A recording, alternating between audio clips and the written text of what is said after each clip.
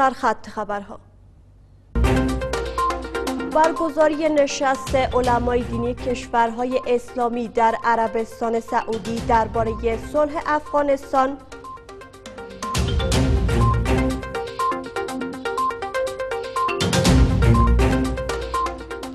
سفر رئیس جمهور غنی به بروکسل برای شرکت در نشست سران ناتو.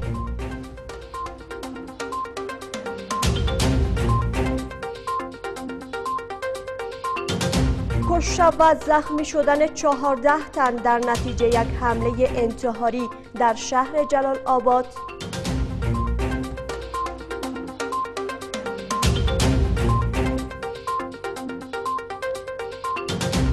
و افزایش شمار قربانیان سیلاب شدید در ژاپن شمار قربانیان این رویداد طبیعی به 110 تن رسید.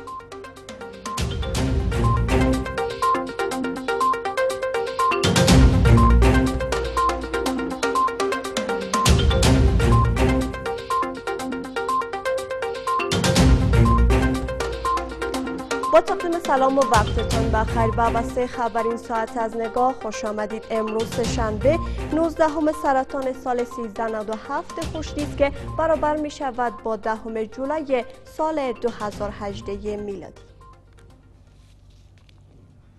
مشروع خبرها. نشست علمای دینی کشورهای اسلامی در مورد صلح و امنیت افغانستان در عربستان سعودی آغاز شد.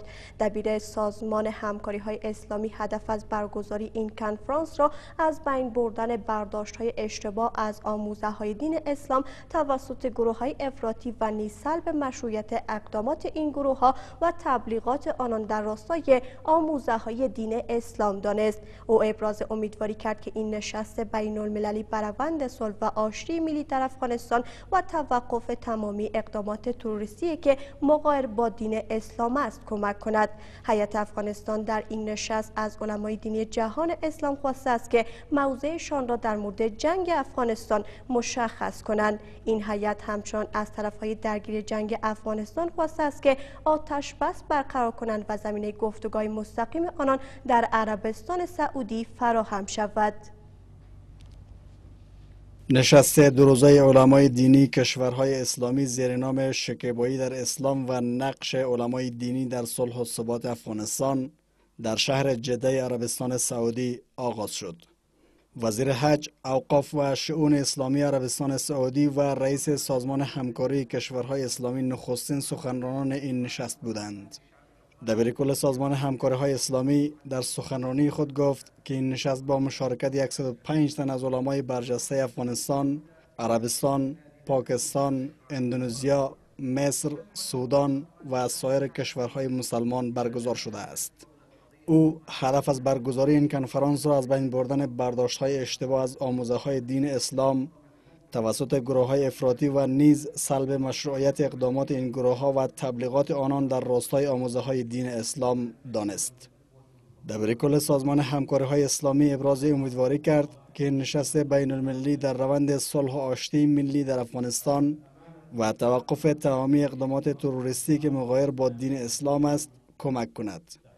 در همین حال معاون سخنگوی رئیس جمهور نشست علمای دینی کشورهای اسلامی در عربستان سعودی را برای افغانستان با اهمیت دانست.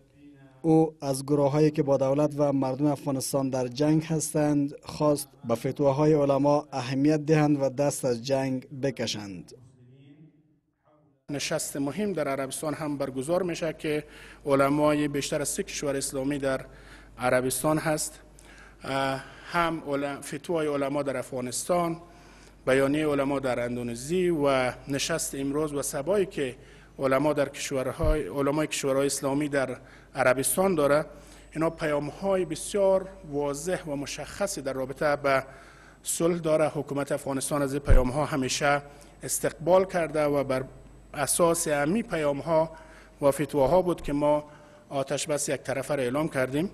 و ما امیدوار هستیم که گروه هایی که با مردم و حکومت افغانستان در جنگ هستند اونا هم به فتواها اهمیت داده و به جنگ و خشونت پایان ببخشند حیات افغانستان نیز در این نشست از علمای دینی جهان اسلام خواسته است که موضعشان را در مورد جنگ افغانستان مشخص کنند. این هیئت همچنان از طرفهای درگیر جنگ افغانستان خواسته است که آتش بس برقرار کنند و زمینه گفتگوهای مستقیم آنان در عربستان سعودی فراهم شود. قرار است که دومین جلسه نشست عربستان سعودی پیرامون صلح افغانستان فردا در شهر مکه مکرمه برگزار شود. نشست علمای جهان اسلام فرصت طلایی برای مخالفان مسلح دولت است تا به پروسه صلح بپیوندند. مشران جرگه با بیان این مطلب می‌گوید که با در نظر داشته جایگاه عربستان سعودی پذیرفتن فیصله این نشست الزامی است و اشتراک کنندگان باید تصمیم نهایی را در مورد رسیدن به صلح اتخاذ کنند. آنان همچنان از اشتراک کنندگان این نشست می‌خواهند تا اوضاع افغانستان را به گونه همه جانبه بررسی نموده و فتوای جامعی در مورد عدم مشروعیت جنگ جاری در کشور صادر نمایند. نشست دو روزه علمای دینی کشورهای جهان اسلام در مورد جنگ افغانستان که در عربستان برگزار شده امیدواری های بیشتری را برای رسیدن به صلح به بار آورده است. مشران و جرگه ابراز امیدواری می کند که با صدور فتوای علمای جهان اسلام در این نشست امنیت سراسری در کشور تأمین شود. اعضای مشران و جرگه برگزاری نشست علمای جهان اسلام در عربستان سعودی را فرصت طلایی برای مخالفان مسلح دولت می دانند تا با استفاده از این نشست به پروسه صلح بپیوندند. سناتوران با اشاره به جایگاه عربستان می‌گویند که پذیرفتن فیصله این نشست الزامی است و امید که فیصله آن سبب خاتمه جنگ در کشور شود. آنان همچنان تاکید ورزیدند که اشتراک کنندگان این نشست باید تصمیم نهایی را در مورد رسیدن به صلح بگیرند. یو طلایی چانس هم امت مسلمت دی او هم افغانستان او د افغانستان د مخالفینو مساله مخالفینو ته. چې د دې وضعیت نه ګټه پاتې پورته وکړي. سرغرور ونه کی په ګډون وکړي. ځکه چې دلته د اسلامی هوادونو علما رو ټول شوې دي. د افغانستان د جنگ په مورد کې د جنگ په مشروعیت په مورد کې خبرې کوي په دې حق باندې باید ټول هغه اصلي مسایل باندې بحث وسي چې څنګه دا جګړه ختم سي دا مصیبت او بدبختی نور هغه ته د پای ټکی پرېښودل سي هیلمن یو چې نړیواله ټولنه د نړۍ هغه قوي قدرتونه هغه کسان چې زموږ سره امنیتي تړون لري هغوی هم د دې غونډې ملاتړ وکړي اعضای مشران و جرگه همچنان با اشاره به وضعیت جاری در کشور می‌گویند که اشتراک کنندگان این نشست باید اوضاع افغانستان را به صورت همه جانبه بررسی نموده و با در نظر داشت مشکلات موجود تصمیم بگیرند. سناتوران ابراز امیدواری می کنند که با صدور فتوای جامع در مورد عدم مشروعیت جنگ جاری در افغانستان صلح و ثبات دائمی در کشور تأمین گردد. په دې سوله کې کوشش وکړي چې د ټولو اسلامي دولتو هغه د دې هغه زینتونه د افغانستان د سولې پر ارتباط راوړي او د افغانستان سولې ته یو نهایی نیټه وټاکي. فیصله های از این یقینا که الزامی است به خاطر که در عربستان سعودی در مکه مکرمه تدبیر یافته و علمای ما رفتن از کشورهای همسایه رفتن از کشورهای سیوت فکر می‌کنم کشور اسلامی در جمعه. ما دعا می‌کنیم و آرزومند هستیم که برای درد دوامدار ملت نجیب و سربلند افغان امو دوای آخری و چاره آخری باشه. در این نشست دو روزه که علمای دینی بیش از 37 کشور اسلامی جهان حضور دارند در رابطه با وضعیت افغانستان بحث و گفتگو شده و فتوای در رابطه با عدم مشروعیت جنگ جاری در کشور صادر خواهد شد. سران کشورهای عضو پیمان ناتو در نشستشان در بروکسل در مورد اوضاع افغانستان نیز بحث و گفتگو می کنند مان سخنگوی ریاست جمهوری می‌گوید که در این نشست در مورد حمایت از پروسه صلح مبارزه با توریسم و شبکه های اقتصاد جرمی بحث می شود که نتایج آن برای حکومت افغانستان خیلی با اهمیت است. در همین حال رئیس جمهور غنی به خاطر اشتراک و سخنرانی در این نشست امروز وارد بروکسل شد. محمد اشرف رئیس جمهور کشور به خاطر اشتراک در نشست سران کشورهای عضو پیمان ناتو امروز وارد بروکسل شد. این نشست سران ناتو به روزهای چهارشنبه و پنجشنبه در بروکسل پایتخت بلژیم برگزار می شود. حمایت از پروسه صلح مبارزه با تروریسم فرامرزی و شبکه های اقتصاد جرمی از موضوعاتی است که در نشست در مورد آن بحث و گفتگو می شود. چند موضوع در اینجا مطرح میشه یک موضوع افغانستان هست دو مبارزه با تروریسم فرامرزی هست. حمایت از پروسه صلح هست و همچنین مبارزه علیه شبکه های اقتصاد جرمی هست.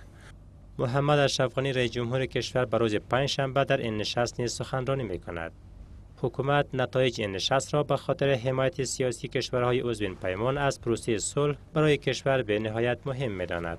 نتایج این جلسه برای افغانستان می‌تونه به نهایت مهم باشد به خاطر که ما در کنار که حمایت همکاران بین المللی خود در بخش تمویل و تجهیز نیروهای امنیتی و دفاعی داریم اجماع سیاسی کشورها را در حمایت از پروسه صلح هم داریم و این اراده حکومت افغانستان در بخش صلح در منطقه و افغانستان می‌تونه بسیار کمک کنه. معاون سخنگوی رئیس جمهور با اشاره به احتمال پایان کمک های مالی کشورهای کمک کننده با افغانستان تا سال 2024 گفت حکومت افغانستان تلاش دارد تا از حیف و میل هوایی کشور از سوی افراد زورمند در گمرکات که سالانه به بیش از 700 میلیون دلار می‌رسد جلوگیری کند. رئیس جمهور با مسئولین گمرک جلسه داشت هفته گذشته و تاکیدش بر این بود که ما چگونه از حیف و میل اواید خصوصا در گمرک جلوگیری کنیم که این حیف و میل شاید به 700 میلیون دلار در سال می‌رسه و شاید هم بیشتر که به جیب افراد میره که یا زورمند هست و یا بر حال از نفوذی که داره در گمرکات استفاده می‌کنه. نیروهای امنیتی و دفاع کشور سالانه حداقل 5 میلیارد دلار مصرف دارد در حالی که عواید فعلی کشور در سال به 2.2 میلیارد دلار می رسد. کشورهای خارجی وعده کمک مالی با نیروهای امنیتی و دفاع کشور را تا سال 2024 را دارد که افغانستان تا این سال باید هوایدش را حداقل به 8 میلیارد دلار افزایش بدهد. در اثر یک حمله انتحاری در شهر جلال آباد مرکز ولایت ننگرهار 14 تن کشته و زخمی شدند. سخنگوی والی ننگرهار می‌گوید که این حمله صبح امروز در مربوطات ناحیه ششم شهر جلال آباد صورت گرفته و در نتیجه آن ده تن کشته و چهار تن دیگر زخم برداشتند. به گفته او این رویداد در نزدیک یک تانگتیل اتفاق افتاد و به دکانهای اطراف این رویداد نیز خساره وارد شده است. شهر جلال آباد امروز صبح بار دیگر شاید یک حمله مرگبار انتحاری بود. سخنگوی والی ننگرهار می‌گوید که این رویداد صبح امروز در مربوطات ناحیه ششم شهر جلال آباد صورت گرفته است. در این حمله ده تن به شمول دو کارمند امنیت ملی و هشت غیر نظامی کشته و چهار تن دیگر زخم برداشتند. سخنگوی والی ننگرهار می‌گوید که وضعیت یکی از زخمی ها نیز وخیم است. به گفته او این رویداد در نزدیکی یک تانگتیل اتفاق افتاد و به دکانهای اطراف این رویداد نیز خسارات وارد شده است. دې پیښه کې دوه د ملي امنیت کارکونکي او اته ملکي وګړي شهیدان شوي دي. همداراز څلور کسان چې یو ملکي وګړي دي او درې نوري نظامیان دي دا ټپیان شوي دي چې د یو تن ټپي حالات هم نازک دي په دې پیښه کې د اورلګیدنې له امله یو موټر او څیرمه هټۍ ته هم زیانونه اوښتي دي. شاهدان عینی می‌گویند که شمار از قربانیان این رویداد نیز در آتش سوختند و تانگتیلی که در نزدیک محل رویداد قرار دارد نیز عریق شده است. نیم بجې به وي چې یو دم درس شو او درس سره پته ونه لګېده دې طرف ته چې را منډه کړه؟ بس اور لګېدلی او بد حال جوړ او دکانونه او دې وره خښته او هغه بیا وروسته حکومت خلک راغله موږ د دې ځینې ویستو او اوس دلته ناست یو درس شو حاجي صاحب بس لاس مې داسې کړه او بس ځان مې بس لږ چپ کو او یو شاګر مې وکتلو هغه راته ښکاره شو مړو او نورو لا پته نه لګېده بس ټول سوي سپور شوي و سو اکنون فردی یا گروه نیز مسئولیت این حمله را بر عهده نگرفته است قماندان امنی ولسوالی خوگیانی ولایت غزنی در نتیجه حمله طالبان کشته شد. سخنگوی والی غزنی می‌گوید که در این حمله که بر مرکز قماندانی امنی ولسوالی خوگیانی انجام شد و شمول قماندان امنی این ولسوالی چهار تن از نیروهای امنیتی کشته و سه تن دیگرشان زخم برداشتند. او همچنان می‌گوید که در نتیجه عملیات هوایی و زمینی نیروهای امنیتی در ولسوالی های خوگیانی خواجه عمری اندر و مقر ولایت غزنی 33 تن از مخالفان مسلح طی کشته و 24 تن دیگرشان زخم برداشتند.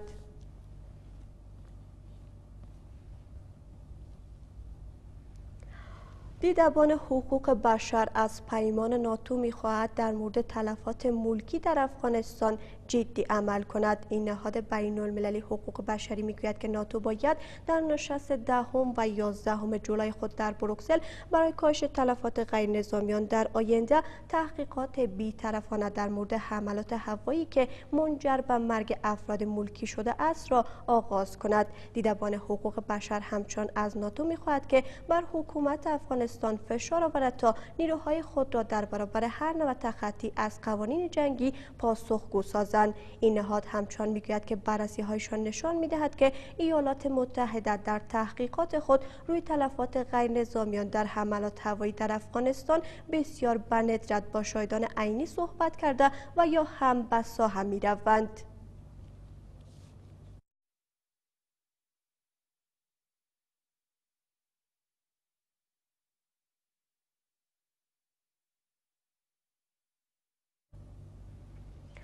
شماره از بزرگان موسفیدان و جوانان ساحه پشبند ولایت سمنگان روز سهشنبه با استاد محمد کریم خلیل رئیس شورای عالی صلح و رهبر حزب وحدت اسلامی افغانستان دیدار نمودند. دیدار کنندگان از کارکردها و دستاوردهای تاریخی استاد محمد کریم خلیلی رهبر حزب وحدت اسلامی افغانستان در دوره مقاومت و فصل جدید ستایش نمودند. آن حمایتشان را از موضوع سیاسی رهبری حزب وحدت اسلامی افغانستان افغانستان در قبال مسائل کشور اعلام داشتند. در این دیدار برخی از خواسته های باشندگان ساحه پشبند ولسوالی سمنگان نیز مورد بررسی قرار گرفته و دیدار کنندگان از رئیس شورای عالی صلح خواستند که در زمینه عملی شدن این خواستها آنان را مورد حمایت قرار دهد. کمک به توسعه و رشد تحصیلات عالی در میان جوانان ساحه یاد شده تأمین مشارکت افراد تحصیل کرده در ساختار ادارات دولتی و حمایت از روند بازسازی از جمله خواسته هایی بودند که بزرگان و جوانان ولایت سمنگان بر عملی شدن آنها تاکید کردند. استاد محمد کریم خلیل رهبر حزب وحدت اسلامی افغانستان از دیدار با این بزرگان و جوانان اظهار خرسندی نموده و با آنان اطمینان داد که در راستای عملی شدن خواسته های مطرح شده تلاش خواهد کرد. رهبر حزب وحدت اسلامی افغانستان از فداکاری های باشندگان ساحه پشتبند ولایت سمنگان در دوره های جهاد و مقاومت به نیکی یاد نموده و اظهار داشت که تلاش های مردم ساحه یاد شده در تاریخ جهاد و مقاومت جایگاه خاصه دارد. همچون رهبر حزب وحدت اسلامی افغانستان یاد و خاطره های شخصیت های فقید و شهدای نامدار و گمنام ولایت سمنگان و بغلان را گرامی داشت و بر وای پاک آنان درود فرستاد.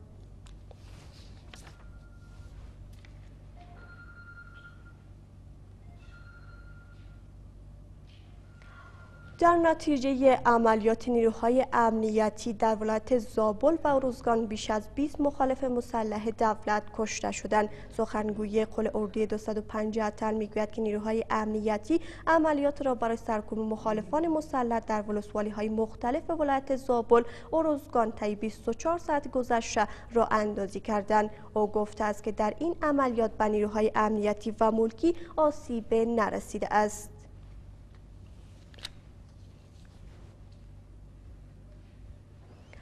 در ادامه رویدادهای داخلی آلا هم گزارش نرخ ارز و وضعیت آب و هوا. یک دلار امریکایی 72 افغانی و 60 پول. یک پوند انگلیسی 95 افغانی و 40 پول. یک کیلو 84 افغانی و 90 پول. یک درهم امارات 19 افغانی و 70 پول. یک ریال سعودی 19 افغانی و 30 پول. هزار تومان ایرانی نو افغانی و سی پول. هزار روپی هندی یک هزار و هفتاد افغانی و هزار روپی پاکستانی 570 افغانی.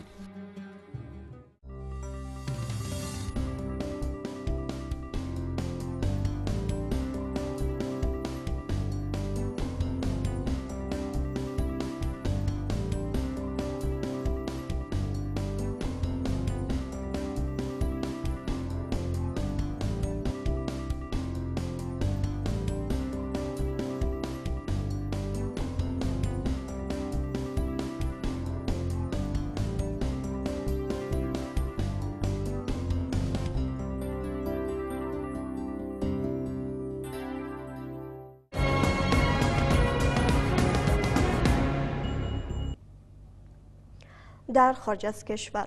دبیر کل ناتو با اعلام نگرانی از توسعه موشک های بالیستیک ایران گفته است که این سازمان در نظر دارد برای مقابله با آن توانایی دفاعی موشکی خود را گسترش دهد. ینس استولتنبرگ دبیر کل ناتو در گفتگو با خبرگزاری انترفاکس گفته است که موشک های بالیستیک ایران همچون مایه نگرانی برای ایتلاف ناتوست و ایران توسعه و آزمایش موشک های بالیستیک با ظرفیت های رو به افزایش را ادامه داده. موشک هایی که می تواند به خاک متحدان اروپایی ناتو برسند و در آستانه اجلاس ناتو که قرار است فردا در بروکسل آغاز شود در گفتگو با این خبرگزاری تاکید کرد که ناتو همچون به توسعه توانایی پدافند موشکی خود برای دفاع از متحدان خود در برابر تهدید رو به افزایش ناشی از گسترش موشک های بالیستیک ادامه خواهد داد.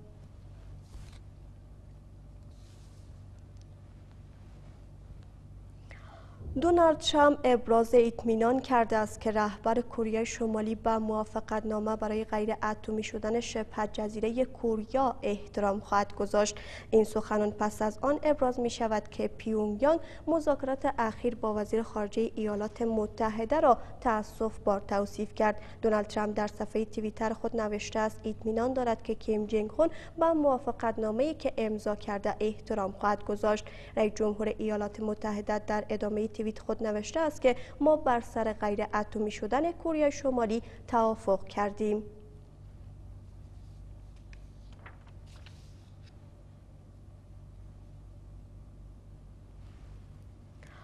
پناهندگان بیشتر از نارو به ایالات متحده آمریکا منتقل شدند. بیش از 20 تن از پناهجویان از بازداشتگاه جزیره نارو برای اسکان مجدد در ایالات متحده اردوگاه هایشان را ترک کردند. پتر دانتون وزیر مهاجرت استرالیا گفته است که به تازگی 22 پناهنده برای اسکان مجدد در ایالات متحده انتقال یافته است که توافق آن میان بارک اوباما و مالکوم ترومبول به امضا رسیده است. به گفته یان رنتول سخنگوی ائتلاف حمایت از پناهندگان این پناهجویان از افغانستان پاکستان و مسلمانان روهینگیا هستند و در میان آنان یک خانواده نیز شامل می باشد در همین حال شورای حقوق بشر سازمان ملل بازداشت پناهجویان در نارو از سوی استرالیا را محکوم کرده و گفته است که برخی از پناهجویان بدون هیچ اتهام در این اردوگاه ها زندانی هستند. شورای حقوق بشر سازمان ملل از سال 2017 تا اکنون پنج گزارش انتقادی را در خصوص بازداشت بیرحمانه مهاجران منتشر کرده و از دولت استرالیا خواسته است که به این بازداشت ها پایان دهد.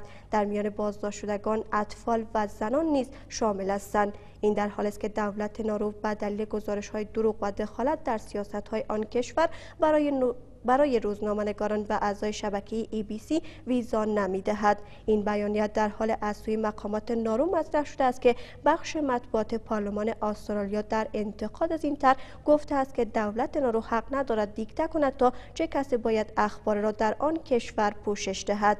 وابسته شدن فعالیت شبکه های ای بی سی در نارو اما مقامات نارو گفته است که یکی از شبکه های تلویزیونی استرالیا می تواند موضوعات را در نارو زیر پوشش قرار دهد. آنان چون گفتند که وضعیت محدودیت در فعالیت رسانه ها در مکان های محدود لازم است.